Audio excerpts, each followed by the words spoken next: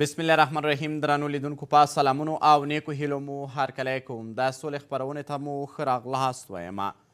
د طالبانو یو پلاوی په کابل کې له یو شمېر سیاستوالو سره لیدلي دي. آریانا نیوز ته باخبره سرچینې وایي چې په دې لیدنې کې په نویو پروګرامونو خبرې شوې دي، خو د راتلونکي نظام په هکله پرېکړه به په دوحه کې کېږي. له قطر څخه د ملا عبدالغني برادر په رهبرۍ یو پلاوی په پوځي الوتکې کې کندهار ته راغلی دی. طالبانو د مرکچي پلاوي غړی انس حقاني کابل ته راغلی او د مصالحې د عالي شورا له رئیس پخواني ولسمشر حامد کرزي، فضل هادي مسلمیار او یو شمېر نورو سیاستوالو سره یې لیدلي دي. له بلې خوا د افغانستان د سیاسي ګوندونو ځینې رهبران او سیاستوال له درې ورځو په پاکستان کې دي. د دې پلاوي رهبري یونس قانوني کوي او وایي چې د جمهوریت له اړخه له طالبانو سره خبرو ته چمتو دي. دغه مسایل ټول په داسې مهال مخ ته راځي چې کابو درې ورځې کېږي طالبان د افغانستان په مرکز پلازمېنه باندې واکمن کېږي او هڅې پر دې راټولې دي ترڅو یو ټولشموله حکومت رامنځته کړي خو اړین ټکي څه کېدلی شي ترڅو دوی پرې تمرکز وکړي رپورټ ګورو تر رپورټ وروسته درانه میلمانه راسره په بحث کې دي له څو ورځو راهیسې حکومتي تشه رامنځته شوې، اشرف غني له ارګه وتلی او طالبان ارګ ته ننوتي، خو تر اوسه یې څوک د ولسمشر یا رهبر په توګه نه دي اعلان کړي. په کابل کې عبدالله عبدالله، پخوانی ولسمشر حامد کرزی او ګلبدین حکمتیار له طالبانو سره د خبرو او له دې حالته د وتلو په لارو چارو غور کوي. کابل ته د طالبانو له ننوتو سره سم د سیاسي ګوندونو او سیاستوالو یو پلاوی اسلام اباد ته تللی او له درېیو ورځو هلته له پاکستاني چارواکو سره د افغانستان په مسئله خبرې کوي. یونس قانوني، کریم خلیلي، محمد محقق، احمد ضیا مسعود، احمد ولي مسعود، صلاح الدین رباني او یو شمېر نور وايي چې د جمهوریت له اړخه له طالبانو سره خبرو ته چمتو دي. راځئ چې ټول هم دغه احساس راسره دی چې په ټولو د دې وطن د خلکو خدمت وکړو په هر بخش کې چر څوک څه زده وي په دې وطن کې خپل خپل وس صرف کړو خپل هغه طاقت په دې وطن کې صرف کړو د ابادۍ لپاره. په نوي پرمختګ کې له قطر څخه د ملا عبدالغني برادر په مشرۍ د طالبانو نه کسیز پلاوی کندهار ته رارسېدلی و خبرې سرچینې وايي چې په لوړه کچه خبرې به په څو ورځو کې په کابل یا کندهار کې وشي خو د نظام په هکله پرېکړه به په دوحه کې کېږي. طالبان وايي چې له دوحې افغانستان ته تللی پلاوی د مېز پر سر د هر ډول پرېکړې واک لري. یک هیئت عالی رتبه امارت اسلامی افغانستان از دفتر سیاسی به مشری به رهبری معاون سیاسی امارت اسلامی افغانستان محترم ملا برادر آخوند به اینجا آمدیم به خیر د وطن عزیز خود همچنانی که برادر ما فرمودند واقعا بسیار جای نهایت خوشحالی بود که امروز ما همشهریان خود را الحمدلله اینجا میبینیم و مجاهدین میبینیم بسیار مردم ها با اطمینان الحمدلله در اینجا زندگی خود پیش میبرند د طالبانو د مرکچي پلاوي غړی انس حقاني وار له مخه له دوحې کابل ته راغلی او د مصالحې د عالي شورا له رئیس عبدالله عبدالله، پخواني ولسمشر حامد کرزي، فضل هادي مسلم یار او یو شمېر نورو سره غږېدلی دی. ګلبدین حکمتیار ته نږدې کسان وايي چې د سولې هوکړې لپاره شرایط څو برابره ښه شوي دي. مبانی کلی اسلامی و هنجارهای مثبت مردم افغانستان اینا دو تا عنصری باشند که شالوده ساختار حکومت افغانستان به وجود بیارند که همه مردم افغانستان خود را در این آینه ببینند. له بلې خوا پاکستان ته د افغان سیاستوالو تللي پلاوي د دې هېواد له لومړي وزیر عمران خان سره لیدلي دي. اسلام اباد ویلي چې په افغانستان کې د ټولشموله حکومت پر سر د افغان خواوو تر منځ د هوکړې لپاره هڅې کوي. ما اگر یک مذاکره جدی را بین رهبران ای حوزه جمهوریت و رهبری طالبها انجام بدهیم، امیدوار هستم که ما به تفاهمای دست پیدا بکنیم که تا افغانستانی که فعلا در یک قلعه قدرت به سر میبره به یک ثبات دائمی منتقل شود ای هم به نفع تحریک طالبان است هم به نفع مردم افغانستان است هم به نفع منطقه. طالبان د افغانستان په نږدې ټوله جغرافیه واکمن دي او وایي چې جګړه ییز فصل تمام شوی خو له دې سره جوخت په سیاسي حالاتو کې اوښتون کړکېچن ښکاري. دا چې د ټول شموله حکومت رامنځته کېدلو لپاره هڅې په بېلابېلو خواو کې دوام لري، غواړم په همدې اړوندو مسایلو خپل بحث ته دوام ورکړم له ښاغلي مولوي ذبیح الله عتیق د ولسي جرګې غړی له کابل څخه او ښاغلی نوررحمان جاذب د سیاسي چارو شنونکی چې دا هم په کابل کې دی او ما سره په ژوندۍ بڼه وصل دي. درنو مېلمنو سلام او وخت مو په خیر ستړي مه شئ. مننه بخیر مننه ډیره زیاته ښاغلی عتیق که په لومړي سر کې پوښتنه له تاسې څخه مطرح کم د ټول شموله حکومت لپاره هڅې روانې دي د طالبانو د مرکچي ډلې غړي هم پلازمینې کابل ته یو شمیر راغلي یو شمیر په کندهار کې دي چې په اړوندو مسایلو باندې بحث او خبرې اترې ترسره کوي په لومړي سر کې تمرکز تر ډیره پر څه پکار دی او څه باید وشي بسم الله الرحمن الرحیم سلام به شما سلام به همکار حاضر در بحث سلام به هموطنان عزیز و با امید یک امنیت سرتاسری کامل در کشور عزیز ما افغانستان و خوب است که ما در آستانه یک تحول کلی در کشور عزیز ما افغانستان قرار داریم و افغانستان شاهد بعد از رنج تحمل رنج های زیاد و بعد از یتیم شدن اطفال نازنینی زیاد از های جنگ و بعد از بیوش زیاد از های جنگ حال چند روز است که الحمدلله کشور عزیز ما افغانستان نفس تر میکشه با وصفی که با ورود افراد تحریک اسلامی طالبا و شهر کابل قبل از اینکه اینا اوضاع را به اختیار خود بگیرند یک سلسله حرج مرج و استفاده جوها و بعضی از دزدان حرفوی تلاش کردند که از اساسات دولتی و وسایل دولتی را به سرقت ببرند خوب جلو یک بخش کلان گرفته شد و من امیدی از را دارم که بعد از استقرار واقعی نظام که به هر شیوه توافق جناها در افغانستان صورت میگیرد جزئی ترین اموال بیت المال به خانه افراد رفته یا به خانه توده های رفته اونا پس به ادارات دولتی برگردانده شد چون کشور عزیز ما یک کشور فقیر و در 20 سال تاسیسات دولتی که ساخته شده نمیتونه باز انتظار از را داشته باشیم که چندین سال دیگه بگذره تا باز ادارات از بعد وسایل و امکانات دفتر باز سر پای خود استاد چان خوب ما در ارتباط به حکومت در شک نیست که خود سران تحریک محترم طالبا به این نقطه اساس پی بردن و متوجه شدن که همان طوری که رئیس جمهور فراری افغانستان آقای اشرف غنی در ارگ ریاست جمهوری کوشش کرد که همه مسائل را انحصاری بسازه و خاطرات البته حافظه رسانه ها ثبت داره که از هنجره های مختلف رسانه های صدا را ما در اون وقت هم بلند میکردیم که آقای رئیس جمهور از چهار دیوار ارگ ریاست جمهوری برا حد اقل اوزای کابل را درست به نزدیک بررسی بکن یک تعداد عناصری مفسدی که در آخرین لحظات او بردن به تباهی و مجبورش کردن که در حالی که خب همه ولایات سقوط کرد و ما آمدیم کابل برای رئیس جمهور قبلی افغانستان خوبی بود که آبرومندانه به شکل مسالمت تحویل قدرت میداد همان طوری که در تاریخ معاصر استاد ربانی شهید کی شهکاری را کرد خب متاسفانه که اونا نتانستن اطراف خود را ببینن و حال ما متاسفانه که در یک کشور جنگ زده در یک خلای قسما قدرت قرار داریم بله خو ښاغلی عتیق څه فکر کوئ چې که چېرته رښتیا هم په مسالمت آمیزه توګه واک انتقال شوی وی او غني نه وای وتلی له هېواد څخه وضعیت کې به څه ډول بدلون سره افغانان مخ شوي وو بله کا پوښتنه تکرار کما کا ولسمشر پخوانی ولسمشر غنی واک په مسالمت آمیزه توګه انتقال کړی وای نو ولسونه به نن ورځ له څه ډول یو وضعیت سره مخ شوي وه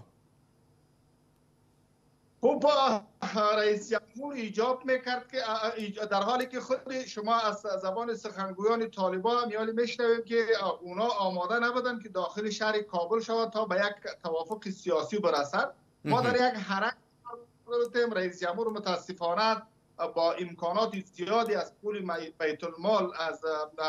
کشور عزیزی ما افغانستان فرار میکنه در حالی که شما بارها از زبانی از او شنیده بودین که اینجا گوریم است و اینجا وطنیم است و باری انتقاد بالای امان الله خان میکرد که چیتو به او از افغانستان فرار کرد خوب بود که امان الله خان از افغانستان اگر فرار کرد باز پس تا غزنی آمد اما ما امیدوار هستم که آقای اشرف غنی را پلیس انترپول پس بیاره به افغانستان یک یک افغانی را که از کشور عزیز ما از افغانستان برده به مردم افغانستان حساب بوده و از حکومت آینده افغانستان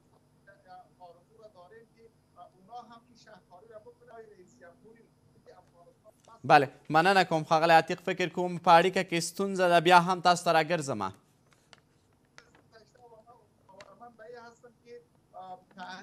بله ښاغلی عتیق که اواز مې لرئ په اړیکه کې ستونزه ده بیا هم تاسو ته راګرځم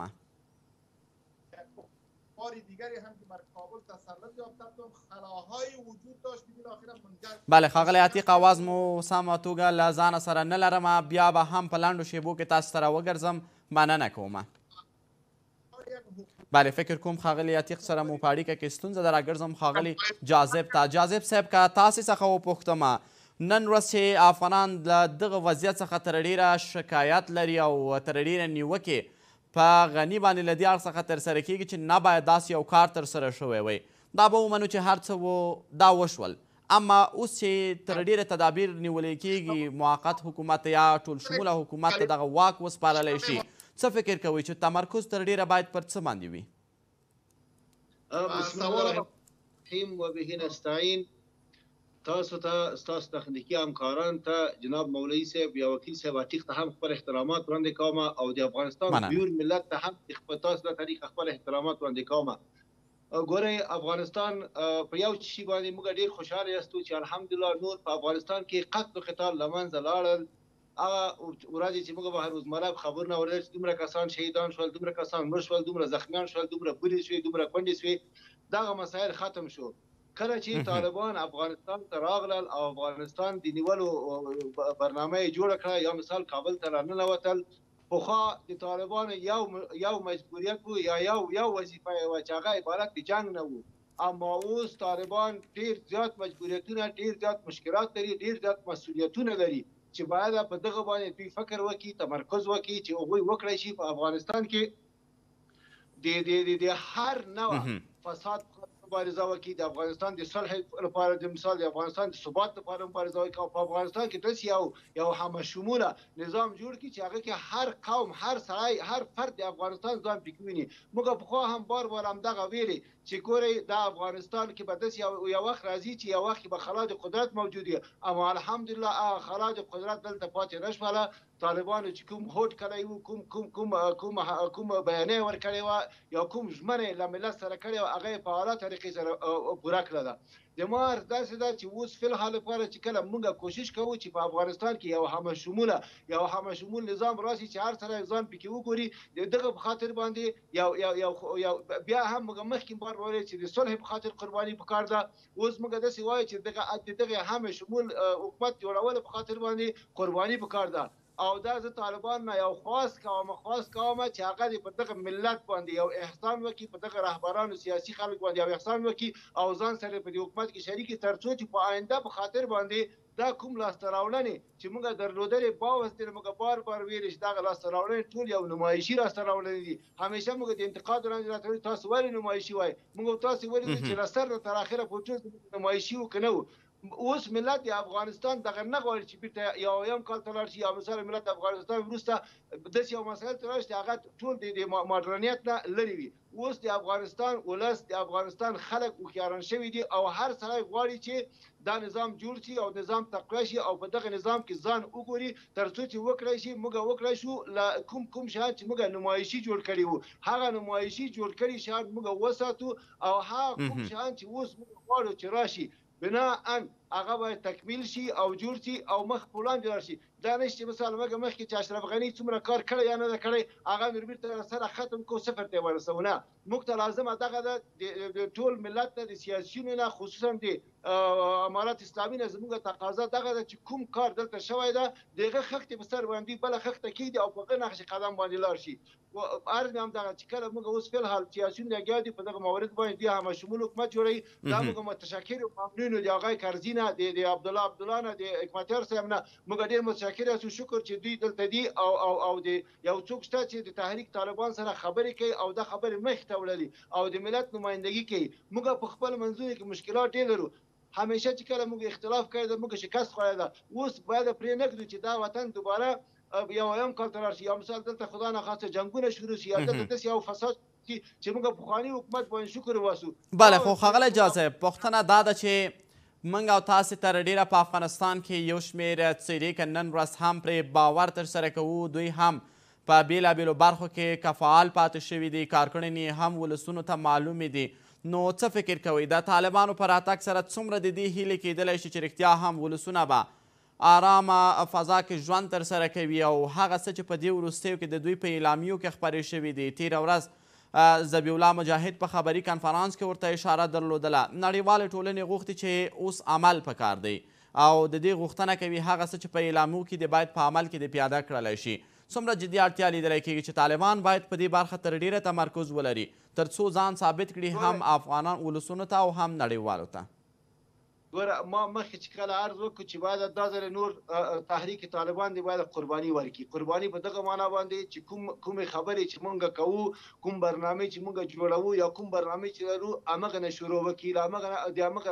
د پاسه دې خښته کېږدي نور حرکت دې وکړي او طالبان بار بار دغه اعلان کړی ده چې مثال ګورئ عفه عمومي بالعموم اعلان کړې ده ټولو خلکو ته عفه کړې ده بنان له دغه عفې نه مکمل خلک استفاده وکړي او کوم مامورين چې موږ لرو کوم پخواني کارمندان چې موږ لرو هغوي بار بار هله خبره تکرارا تکرارا وايي چې موږ هيڅ نوع شخصي دښمني له چا سره نه لرو موږ هيڅ نوع مشکلات له هيچا سره نه لرو کوم کدر کوم پرسونل چې په افغانستان کې دا شل کاله روزل شوی ده موږ د همغه کدرونو نه استفاده کوو او د همغه کدرونو په نقش قدم باندې موږ ځو خو يو تغيرات تبديلات به راشي انشاالله موږ مطمئنه يو. موږ مطمئنه په دغه باندې یو چې تحریک طالبان چې کله کومې خبرې کوي په هغه باندې تر اوسه پورې دوی مکمل عمل کړی ده له دې نه وروسته هم موږ همدغه تمه او توقع لرو چې کله دی وایي چې عفو عمومي بنان باید په دغه باندې مکمل عمل وکړي او دغه پرې نه ږدي چې مثال خدا نه خواسته بعضې بعضې خود غرضه یا شخصي یا مافیایي ډله دلته بیا د دوی خدا نه خواسته په دغه په دغه کوم اعلان دوی کړی دا خدشداره کړي او او د خلکو د خلکو ذهنونه په تشویش کې واچوي.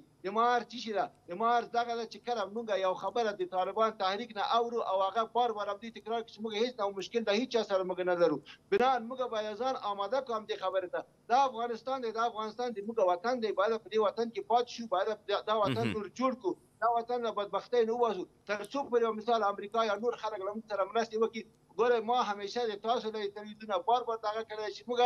موږ موږ همېشه په نکله که سوالګر باندې اموخته شی او سوال کوو بناً دغه د سوالګری سیستم باید ختم شی طالبان تحریک ته دغه پکار ده چی یو زغم یو خود غر یا یا یا یا یو داسی یو یو حالت ځان باندې پیدا کړی چی دوی دوی مثال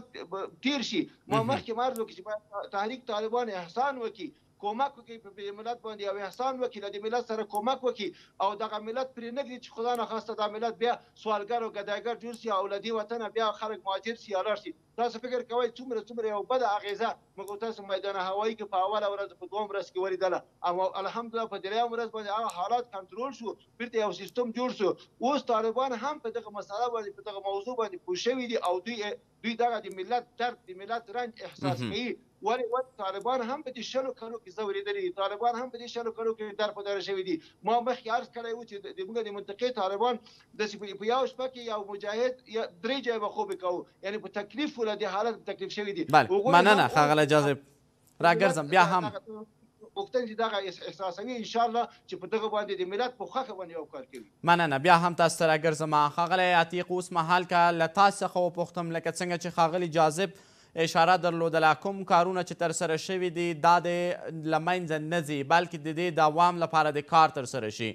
دا خبرې اوس مهال په داسې کېږي چې تر ډیره طالبان د افغان حکومت له یو لړ کارونو سره موافق نه وو که د قانون مسله وه یا هم که موږ تاسې په ټوله کې د نظام په اړوند باندې د دوی لیدلوری وګورو څه فکر کوئ چې هماغه کارونو ته به تر کومې کچې پورې تداوم ورکړلی شي او که ټول شموله حکومت هم جوړیږي نو هغه تیري شته لاسته راوړنو لپاره څومره ضمانت موجود دی چې دا به حفظ وي؟ همه سوال شما به فارسی گردان کنید ببخشین که من کدام کلمه از پیشم نمانه بله فعلا اگر ببینیم فعلا اگر ببینیم جناب جاذب اشاره به این داشتن که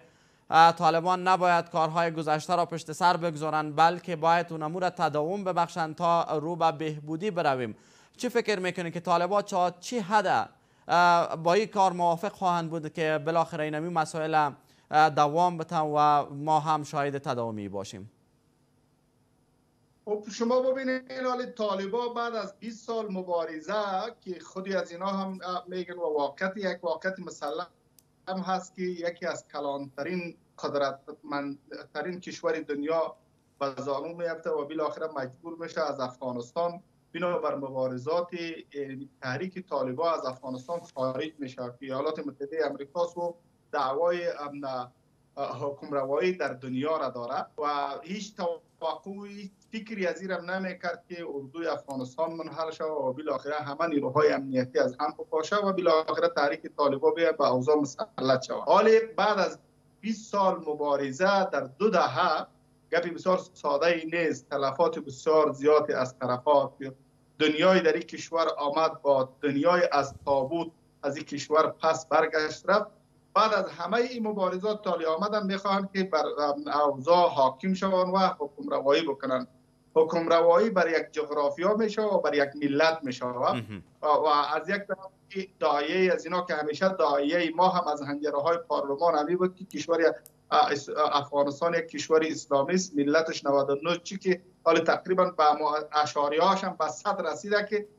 شاید بالاترین ارقام فیصدی را در دنیا باشه که کشور اسلامی است و آرزوی هر شهروند است که در زیر بیرق ارزش های والای دین مقدس اسلام زندگی بکنند و این اساسال طالبا آمدنی که برمی شرایط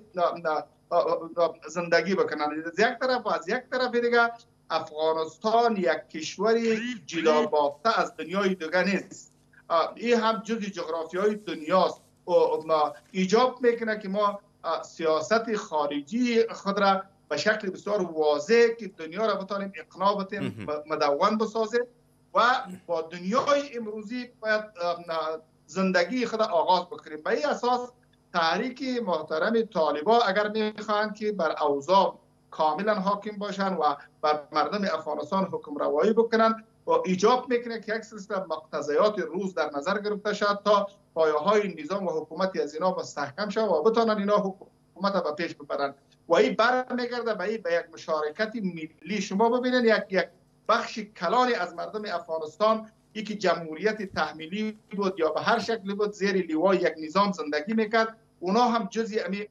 مردم افغانستان هستند و در بخش هایی که حکومت قبلی حکم روایی میکرد او بخش هم مربوط به جغرافی های افغانستان هستند به این اساس ما در صورت میتونیم موفق شیم و ما در صورت میتونیم که نظام خود دوام بده من اشاره کردم که در سه سال نظام طالبان چرا از هم پاشید چون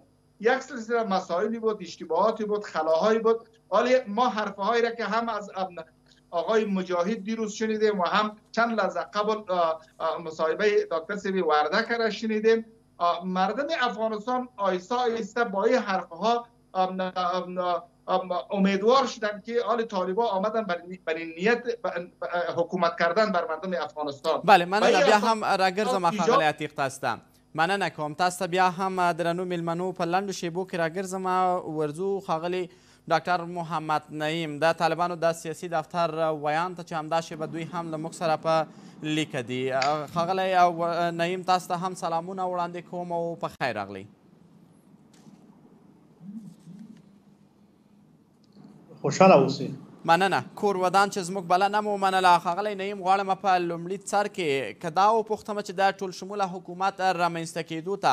ولسونه باید څومره انتظار وي او دغه چاره څومره په ګړندۍ توګه مخته ځي؟ جزئیات یې له تاسې غواړم. بسم الله الرحمن الرحیم لومړی تاسو ته ستاسو لیدونکو او اوریدونکو ته په عام ډول باندې خپل ګران او مجاهد زوردي ولسته سلامونه احترامات وړاندې کوم مننه او ټول ته دغه یو تحول یو نیک تحول مبارکي وایو چې د ټول افغانانو د هر فرد دغه ټولنې د هیله او د ارمان و چې زموږ په هیواد کې نور جګړه پای ته ورسیږي اوس الحمدلله دا ارمان ټول پوره شول او جګړه نور پای ته ورسېدله او مې د چې راتلونکي ان شاء الله د پرمختګ د هوا د ولس د خیر د خګړې خګړې لپاره مټ سره ورمغاړو او په ګډه پرمختګ وکړو د دې په تاسو ته بهتره معلومات دي چې دغه یو تحول چې رامنځته شولو د ټول لپاره یو ناڅاپي تحول وو یوازې افغانان د لپاره نه بلکې د نړۍ لپاره هغه امریکا چې د شل کال تر راغلي و او دغه تیر ادارې کسان ته د ادارې جوړه کړې و د کسان راوستلي وو لپاره هم دا یو ناڅاپي پیښه و په دې اساس باندې اوس متاسفانه د پارسای څخه نشو ویلای چې کله دا حالت یو ځل عادي حالت راګرځي خو زموږ خپل هڅه د مشرانو د دې چې هڅه روان دي کوششونه روان دي چې څومره زر کېدلی شي دغه دغه لپاره یو یو ترتیب برابر شي او تصمیم ونیول شي په مشخص ډول نشو ویلی چې کله وي خو هڅه روانه ده ښاغلی نعیم اوس مهال کې که د مرکچي پلاوي غړي په پلازمینې کابل یا هم په کندهار کې میشت دي او دوی په یو لړ مسایلو باندې بحث او خبرې اترې ترسره کوي د دې اشاره هم کیږي چې سترې پریکړې به په دوحه کې ترسره کیږي آیا د دوی د اجنډا په اړوند هم جزئیات له موږ سره شریکولی شي چې دوی به په کومو مسایلو باندې تم کیږي او تر ډیره تمرکز به د دوی پر څه باندې وي په تفاصیلو په اړه څه نشو ویلی ځکه چې تر اوسه پورې د حالات یو په یو رامخته شول غیر مترقبه حالات وو نو بنا په همدې اساس باندې د چې اوس څه به تصمیم نیول کیږي څه به کیږي دا مشهور ته ضرورت لري او مخکې له چې خبره یقیني شوې نه وي یا هغه نه شوې نو له وخت نه مخکې په دې اړه تر اوسه نه شو ویلای البته دا ټول اوس مهال چې د قدرت یو خلا رامنځته شوې د دې ډکولو لپاره نو اړین ګامونو ته اړتیا لیدل کیږي ځکه چې لا هم تر اوسه پورې حکومت موږ تاسې بې سرپرسته بللی شو ځکه چې څوک نه دی نومول شوی چې اداره به د حکومت په ټوله کې د چا تر لاس لاندې وي همدا خبره ما کوله په همدې په خاطر باندې ده که داسې حالت چې وي اوس دا خو د ولس د سرنوشت خبره ده د هیواد د برخلیک خبره ده دا اوس داسې صرف دغه دوه دقیقو کې یا په سره دوه ورځو کې یا په درې ورځو کې په دې اړه تصمیم نیول کېدای شي زه فکر کوم د نړۍ کې په هر ګوټ کې داسې یو فکر رامنځته شوی وای یا تاسو ګورئ چې کله انقل یو تحول راځي په هوادونو کې هلته یو انقلاب راځي نو هلته اقتصادي حالات اعلانېږي د څو میاشتو لپاره وي موږ الحمدلله اسلامي امارات د مشرتابه د خپل حکیمانه او د خپل مقتدر تصمیم په اساس باندې وکولای شو چې حالات ته کنټرول کړي او الحمدلله داسې یو ګډوډي رامنځته نشوله چې هغه د ولس د خیر د ولس او د هواد په توان باندې وي دا ټول د اسلامي امارت الحمدلله خپل مسولیت په اساس باندې دا کار کړ اوس دا چې څه پکې په دې باندې کوششونه روان دي لکه تاسو چې خبر یاستئ د جنا محترم الله صاحب برادر اخوند په لوړه کچه باندې ټول هیئت ور سره لاړو نو غوړل مشرانو سره د نورو اړوند هغه سبا لیدنې کیږي دغه پرنا کې شړای او تصمیم بنول کیږي خامخا د سخنش کېدلای خو دا حالات لکه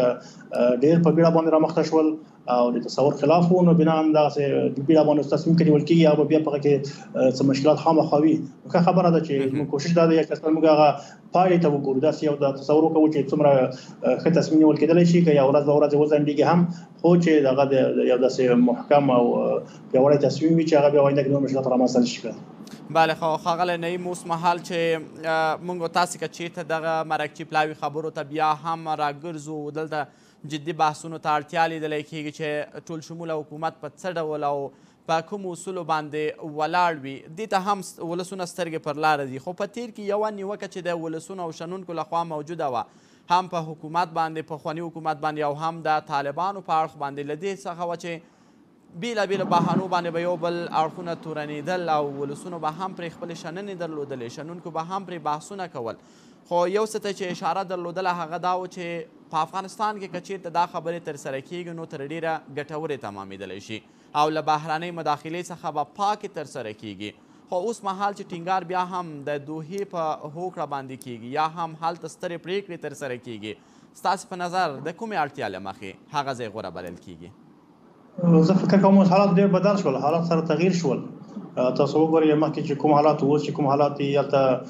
په هغه وخت کې د که څه هم چې د کابل کومه اداره وه موږ په رسمیت نه پېژندله خو بیا هم هغه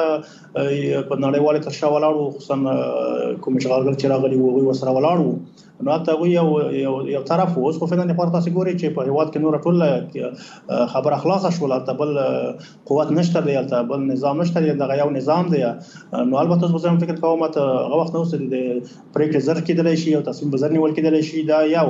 او دوهم دا چې هغه تاسو چې اشاره وکوله چې کوم بحثونه او تفسیری موضوعات څېړل او هغه خو اوس نه وخت دی او نه کیدای شي او نه د منطق او د عقل دا تقاضا ده چې په اوس وخت کې دغسې چې هلته هیواد په داسې یو حالت کې دی ولس د دغسې یو برخلیک سره مخ دی او دلته بحثونه کیږي مناقشې کیږي په دې وړو وړو مسایلو یا په دغه مسایلو چې هغه که وړې هم نه دي چې ثانوي حیثیت لري په هغه باندې بحثونه کیږي دا فکر کوم د حالاتو د هغه تقاضا نه ده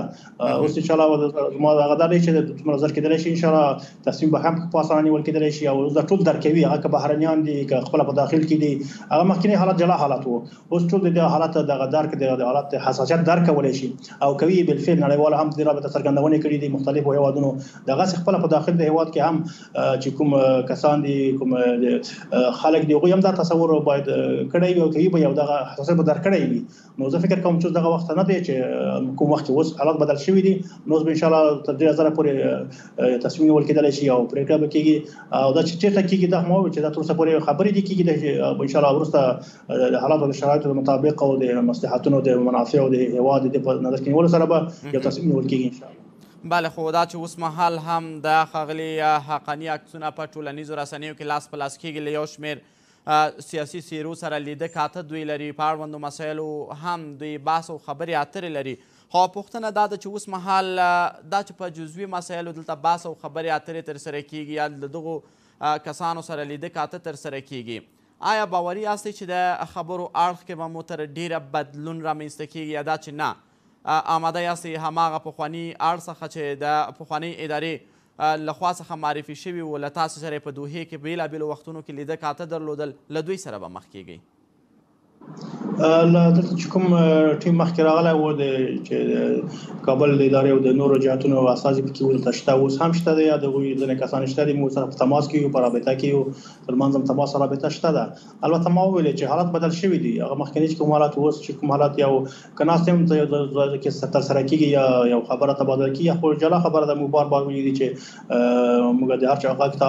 آماده یو چې غږ واورو خبره واورو مشوره واورو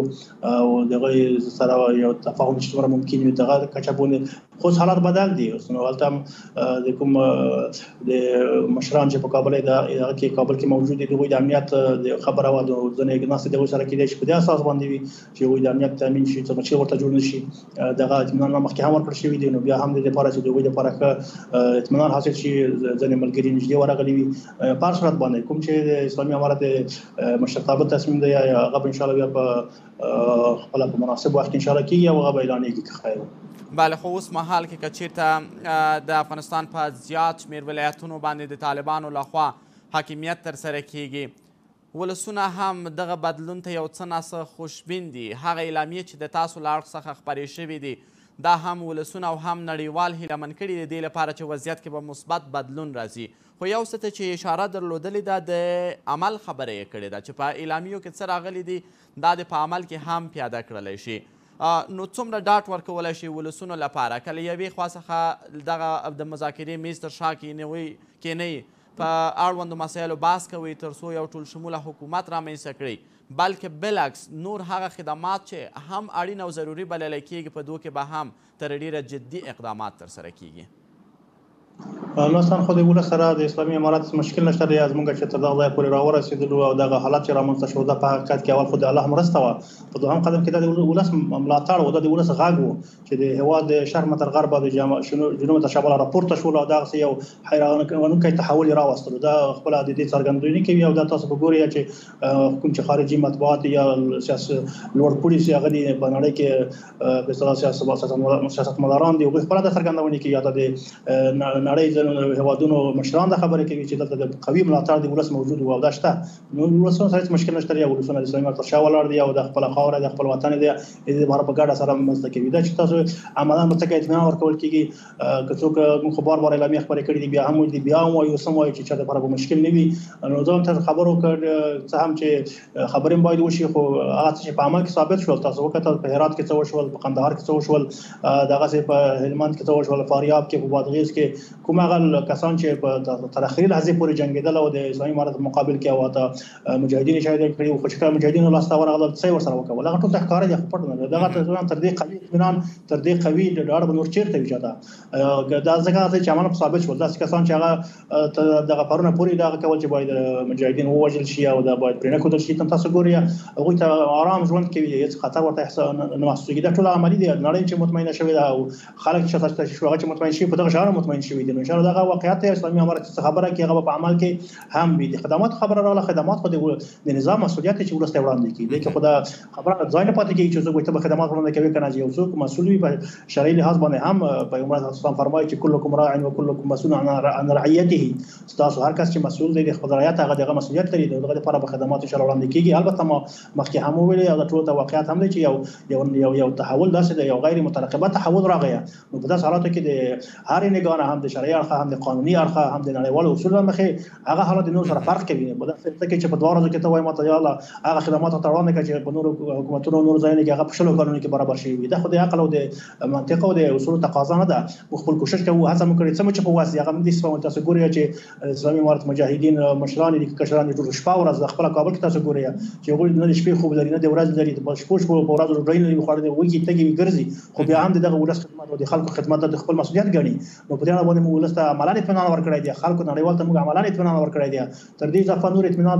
بیا هم موږ په خپل باندې کې خپل هم وایو ویلي مو هم دي اعلامیې هم خپرې کړې دي خو تر ټیلو عملی اطمینان چې دی هغه قوی اطمینان چې دی هغه عملی اطمینان دی هغه مو ان شاء الله ثابت کړی دی او آینده کې به هم د خپل ولس او د خلکو په خدمت کې وو البته دا خبره هم ده چې اوس دغه هوا د حالات او د راتلونکي لپاره چې کار کیږي دوس الحمدلله فرصت مساعد شول هغه جګړې چې ټول وسر ته ټکول هر افغان دې نظر دل ټول چې کاش د استعارات رامنځته شي چې زموږ په هیواد کې جګړه نه اوس الحمدلله دغه حالات رامنځته شو اصل الله متعال دغه لوی افتخار دغه لوی یار اسلامي امارت مجاهدینو د قربانۍ په نتیجه کې رامنځته کړ او دا د اسلامي امارت لپاره یو لوی تاریخي افتخار دی، د ولس لپاره هم دی، دا د ټولو مشترک هدف و، دا ترلاسه شول، اوس راځئ چې مټې سره ورغاړو، مخته لاړ شو، څنګه کولای شو، امن او امان دی، مال په امن دی، سر په امن دی، کوم مشکل نشته دی، نو اوس به خدمت کوو، په ګډه باندې خپل وطن به جوړوو. مننه ښاغلی نعیم، که یوه پوښتنه مطرح کړم او په لنډو کې یې ځواب راته راکړئ، دا چې حالات لکه څنګه تاسو یادونه وکړول چې له تېر سره ډېر په بدلون کې لیدلی کېږي، هغه مذاکرات چې روان و، تر ډیره هغه ته د طالبانو د اړخ اشاره دا وه چې د دوی زندانیان دې خوشې کړلی شي، د دوی د مشرانو نومونه له تور نوملړ څخه ووځي، نو اوس مهال په بخښنې سره حالات که بدلون موندونکي وي نو تر ډیره استناد له طالبانو د طالبانو له خوا څخه پر دې باندې و چې له امریکا سره یې کوم تړون لاسلیک کړی و او دا خبرې هم د همغه تړون یوه برخه بلله. اوس مهال دغه چاره څه ډول ده؟ په دې اړه باندې خو هغه مشکل حل شول که څه هم د اسلامي امارت هغه بیا د سولهییز حل ته ژمنتیا ښودله چې تر دې چې موږ کولای شو لکه اوس چې د یمن وشول چې دغه زندانیان موږ هغه وخت کې خلاص کړی خو موږ دا و چې هغه د په خاطر باندې چې مشکل جوړ نشي او د خبرو اترو لاره مشکل حل شي موږ دې ته ترجیح ورکوله نو که هغوی دا په وخت کې دا اقدام کړی وای کم تر کمه یو احسان به یې و خلکو ته به یو څه ښودلي و چې دا دې موږ دا خلاص کړو نه هغه وکول او د زندانیان ټول الحمدلله په خپل را خلاص شول هغه مشکل خو حل شول نو چې کوم نړیوال سره چې کوم تعهدات موږ هغه ته ملتزم یو کوم د نړیوال اصول چې د اسلامي شریعت په چوکاټ کې د خپل هوا د ملي منافع پر اړه کې نړیوال سره زموږ ته تعلقات شته دي او غواړو دا تعلقات نور هم پراخ شي قوي شي پیاوړي شي د ولس د خیر لپاره د هوا د خیر لپاره نو دا نړۍ کې ژوند په یوازې توګه نه کیږي د موټر درکو په دې باندې ټول پوهیږي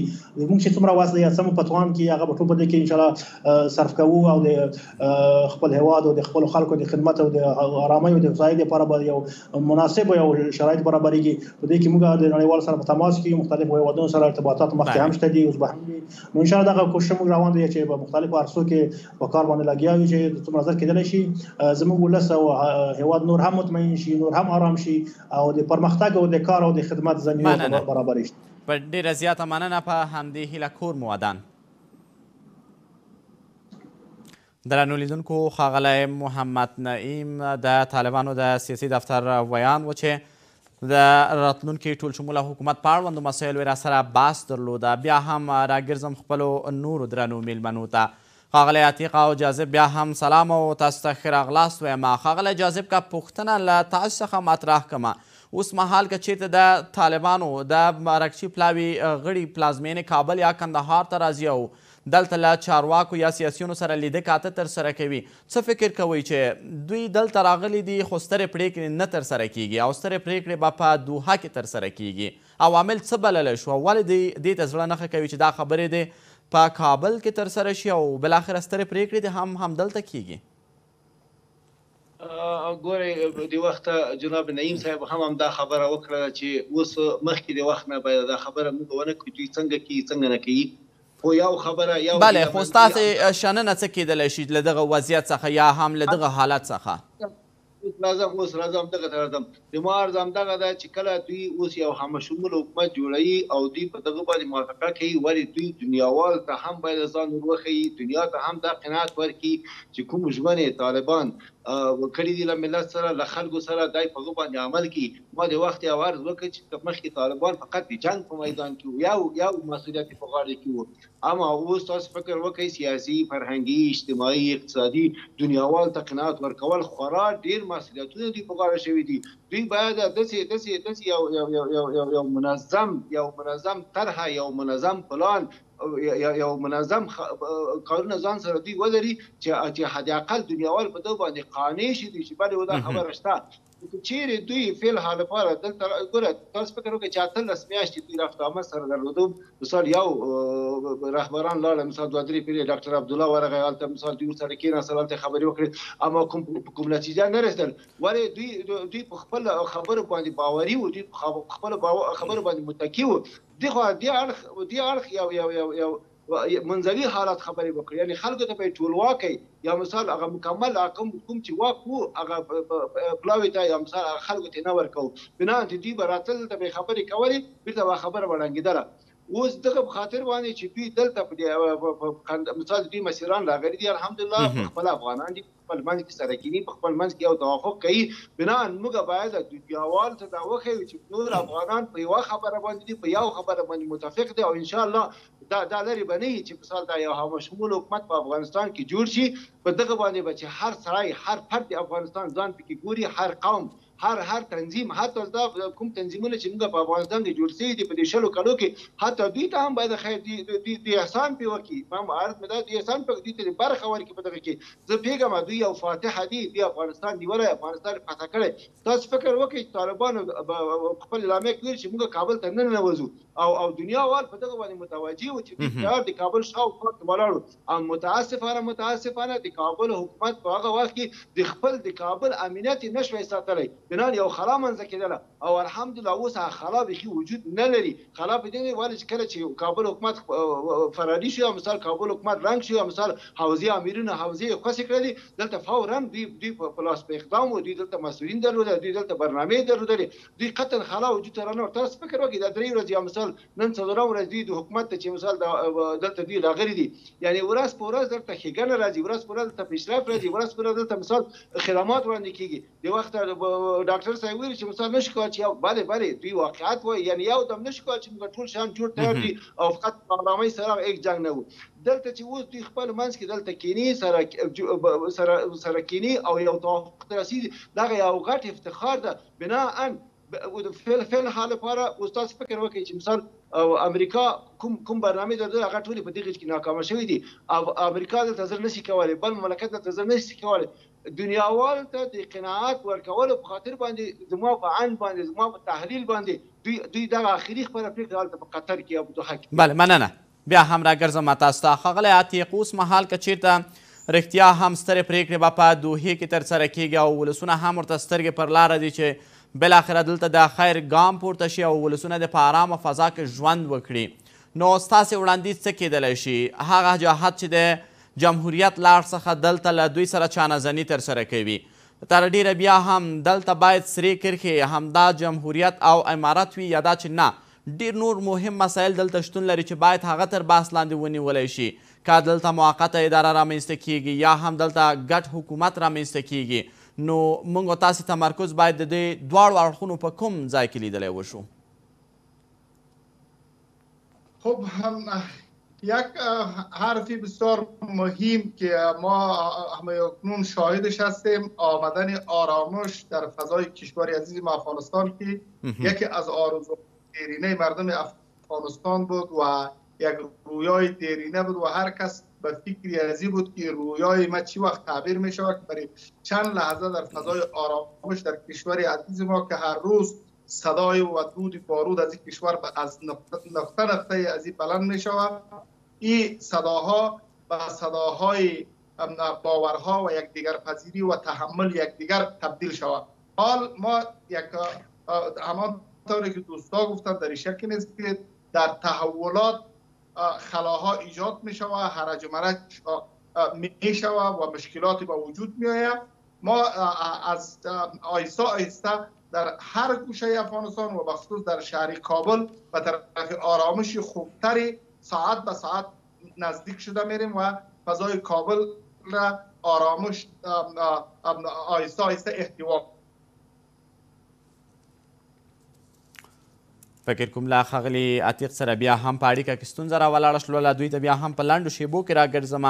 ښاغلی جاذب اوس مهال که تاسې ته راوګرځم دا چې رښتیا هم په وضعیت کې یو ستر بدلون رامنځته شوی دی لکه څنګه چې ښاغلي نعیم ورته اشاره درلودله چې نه افغانانو او نه هم نړیوالو دا حس کوه چې دغسې یو وضعیت به راځي نو اوس مهال چې دغه وضعیت راغلی دی د ولسونو سره د طالبانو برخورد هم تر ډېره صمیمي بللی کېږي او خلک هم ترې هیلې لري چې باید لا هم همدغه وضعیت ته دوام ورکړل شي او ژر تر ژره دې یوې پایلې ته ورسېږي تر څو دغه خلا د قدرت چې رامنځته شوې ده دا دې ډکه کړل شي خو اوس مهال تر ډېره طالبانو چې په کومو برخو کې اقدامات ترسره کړي دي د ولسونو له هرکلي سره مخامخ شوي دي د لا پیاوړتیا غوښتنه یې ترسره کوي څه فکر کوی د جمهوریت اړخ خبری که چیرته له طالب اړخ سره پیلیږی نو څومره به دغه برخی زیانمنی کړی یا دا چی نه دا به نه زیانمنیږی بلکی لا تقویت لپاره به یې کار کیږی؟ ګورئ که اوس موږ د دغه دعوا کوو چې مثال یو خوا جمهوریت دی او بل خوا امارت دی هغه مسله اوس ختمه شوې ده.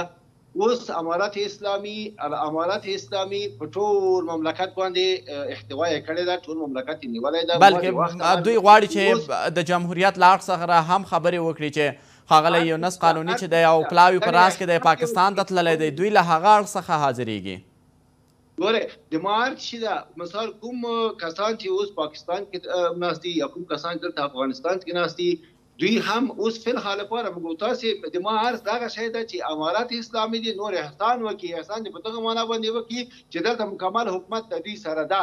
او دوی هم په دې خبره باندې قانع دي چې موږ همه شمول حکومت جوړوو، کله چې اول مذاکرات په دوحه کې شروع کېدل زه د دې خبرې په خپله شاهد یم چې ملا برادر اخون همدغه اعلان وکړ چې موږ بری وو یو همه شموله اسلامي حکومت موږ جوړوو بناءً کمبوتوالی د موږ له طرفه هلته ګوته شوی ده، کمبوتوالی موږ او د امارت اسلامي ته کم یو چې موږ ونه شوای کولای چې کوم تقاضاوې یا کوم جوړښت چې د دوی دواړو تر منځ کې شوی هلته به شوی وای اوس فی الحال په خاطر باندې امارت اسلامي په دغه یو هغه کې نه دی چې اوس مثال خلکو ته محتاج وي هغه ته محتاج وي امارت اسلامي په مکمل توګه اوس افغانستان نیولی ده افغانستان په کنترول کې ده او امارت اسلامي باید ما درته ویل چې همه شمول حکومت جوړوي داسې دا د جمهوریت او د هغه هغه نه ده بیا هم دوی خپل منځ کې سره کینې کیدې اوس مثال زه ووایم چې مثال زه جمهوریت غواړم او دوی دوی مثال امارت غواړي دا بنا بیا او ټکر شو امارت اسلامي دی بله خو د ټکر لپاره یو بل سره مذاکرې میز ته کینې ځکه چې که ټکر نه وای خو هر څه به اوس مهال په عادي توګه مخته تلل نه به له پاکستان چارواکو سره د لیده کاته تر سره کیدل نه به سیاسیون دلته له دوی سره په بیلابیلو برخو کې په یو لړ لیدو کاتو باندې بوخت و خو همدغه ټکر عوامل دي چې دوی له یو بل سره کیني او بیا هم د ټولشموله حکومت په اړه خبرې کوي. عرض مې چې ده بناء زه وایم چې امارت اسلامي دې قرباني ورکړي درته، امارت اسلامي دې مکمله قرباني ورکړي او یو همشمول حکومت دې جوړ کړي تر څو چې هر سړی پکې ځان ته وویني. اوس که چېرې موږ بیرته سر بحث د جمهوریت او د امارت نه شروع کوو یعنې معنی یې دغه ده چې موږ بیرته اتلس میاشتې مخکې ته بیا ورځو ورته اوس ځان تر تر تر کوم حد پورې دوی خبره سره رسیدلې دي کوم کوم خبره دوی سره کړې دي په همدغه خبره باندې چې اوس مثال هغه ګل حکمتیار صاحب ناشته کرزی صاحب ناشته عبدالله ناشته الته قانی صاحب پاکستان کې ناشته بنا د دوی د موافقې په خاطر باندې چې یا یو همشمولي بحث د جمهوریت او امارت اوس نشته اوس بحث دغه ده چې موږ څنګه یو همشموله اسلامي نظام یو اسلامي حکومت موږ جوړ کړو اوس که موږ وایو چې مثال که چیرې دوی مختلط نظام مختلط یا مثال اشتراکي نظام جوړي دا مشکله ده همشمول په دغه مانا باندي چي د هر وګړي ته به حق ته يې حق ورکړ شي او هر وګړي ته احترام وشي بناءً بايد په دغه لړ کي اوس تحريک اسلامي افغانستان بايد دا يو يو قرباني ورکړي او قرباني په دغه مانا باندي چي يو نظام دي جوړ کړي تر څو آينده افغانستان په انزوا کي لاړ نه شي خداي نخواسته افغانستان بيرته څلورم کال يا مثال بيا بيا نور مشکلات پکي پيل نور جنګونه را نه شي د دغه په خاطر باندي دوی دوی دي لږ ځله خپل تحمل یا انکساري دې ښکاره کړي او دوی ته دې جای ورکړي تر څو چې دغه غوښتنې چې خلک لري، خلک چی غواړي؟ خلک آرامي غواړي، خلک صحت غواړي، خلک ښه ښه اقتصاد غواړي، باید زموږ اقتصاد پیاوړی شي، تاسو تاسو وګورئ موږ همدا اوس افغانستان یو غني ملک ده، یو غني ملک ده، بناً د دغه د رشد اقتصادي په خاطر باندې موږ تیار هر شی اوس آماده لرو، موږ فکري قوتونه دلته آماده لرو، موږ موږ هر هغه شی چې ضرورت کیږي د افغانستان ملت ته آماده لرو،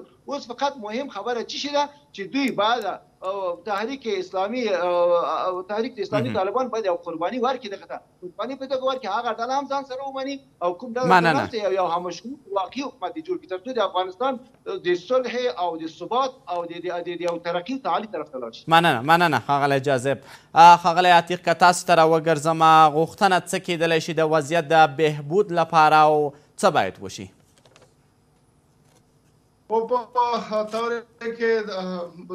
همکار در کامل در بحث ما اشاره کردن حال قضیه یک تحول کلی آمد تحریک طالبان بر اوضاع کاملا مسلط شدن قسمتی اندکی از مشکلات مانده و به هر حال ما قبلا اشاره کردم که بعد از 20 سال مبارزه اینا باز دوباره آمدن وارد کابل شدن و خلاهایی که در دور قبلی منجر به خروج از اینا از کابل شد حتما متوجه به او خلاها هستند ما امیدوار هستیم که خلاها پر شوند و اشتباهات گذشته گرفته شود یک حکومتی ایجاد شود که او سبب قناعت تمام جوانی بله مسئله جمهوریت و امارت خلاص شد طوری که دوست ما اشاره کرد اما افراد خلاص نشد ما ما کدرهای را داریم شما میاری در میدان هوایی از طریق رسانه ها میبینین به هزارها انسان که یک بخش کلانی ازی را از کدر تحصیل کرده ما شامل است اونا در فکر یزی هستند حتی خود در طیر طیاره بسته میکنند بدن از اینا پارچه پارچه میشه در فضا تا خود از این کشور بکشند شرایط به شکلی ساخته شود که کدرهای تحصیل کرده و انسانهای خوبی که در حکومت قبلی در این کشور کار میکردن و برای رفاه مردم زحمت میکشیدن وضعیت به شکلی ساخته شود که تا او کادرهای صادق و متعهد به کشور بیایند این نظام جذب شوند تا همه دست به هم بتیم این کشور بخوایم نخواهیم ما سقوط نجیب متفاوت است با این سقوط در زمانی که دا حکومت دکتر نجیب الله سقوط کرد وقت وضعیت اقتصادی مردم خیلی پایان بود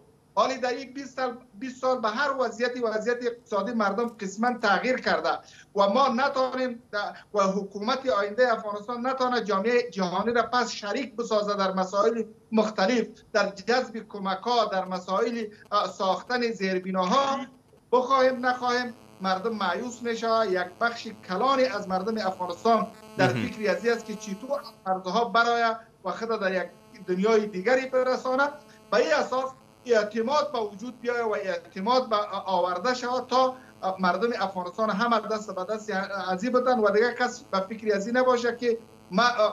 اگر از طریق بهره ها هم میشه و از طریق هم میشه و از هر طریقی میشه از این کشور برای شرایط به شکلی ساخته شود بخوایم نخواهیم ما در کشور ما افغانستان معادینی داریم که حتی اگر زمینه استخراجی از اینا به مفهوم واقعی مساعد شود ما بعد از یک مدت کوتاهی شاید به کمک های جامعه جهانی هم ضرورت نداشته باشیم حکومت به شکل شمول ساخته شود که افراد و کدرهای تحصیل کرده و چیز فهمی در خود جذب بکنه تا بالاخره ما از دست درازی به دیگه دنیا مننه. نجات پیدا بکنیم و کشور خفا تبدیل شویم و در یک کشوری با هم برادر زیست بکنیم و زندگی بکنیم زیر بیرق, بیرق ارزش های دینی ما مننه ډیره زیاته په دې هیله چې مثبت بدلون رامنځته شي کور مو ودان ښاغلی عتیق او له تاسې هم منندوی یم ښاغلی جاذب چې له موږ سره مو برخه واخیستله درنو لیدونکو د سولې خپرونه هم په همدې سره پای ته رسیږي له ملتیا مو منندوی یم پاتې وخت مو په خیر